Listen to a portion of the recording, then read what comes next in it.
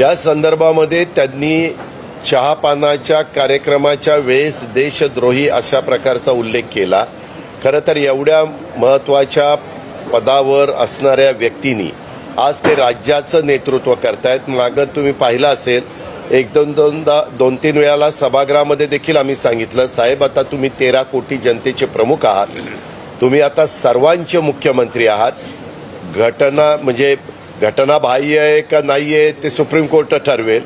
पण आज तरी बहुमत तुमच्या पाठीशी आहे.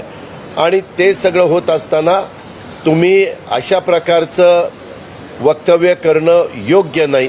तुम्ही त्याच्यामध्ये थोडीशी सुसंस्कृतपणाची भूमिका जी यशवंतराव चव्हाण साहेबांनी आपल्याला घडी घालून दिलेली आहे त्याचा विचार केला पाहिजे.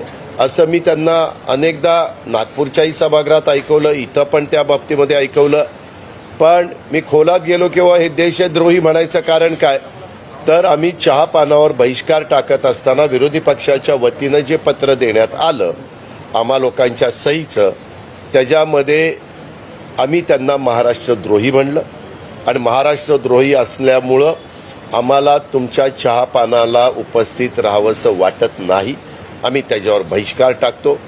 मग त्यांना कल्पना सुचली असेल की आपल्याला महाराष्ट्रद्रोही म्हणले तर त्याच्या पुढं जावं ह्यांना देशद्रोही म्हणावं. असं काहीतरी झालेलं असावं. पण त्याबद्दल अजून बरेच दिवस अधिवेशन चालणार आहे. त्यावेळेस एखाद्या चर्चेतनं आम्ही हा मुद्दा काढू. आणि काय नक्की घडलंय मी तर सांगितलं आम्ही महाराष्ट्रद्रोही बोललो बोललो काय? लेखी लिहिलंय लेखी लेखी.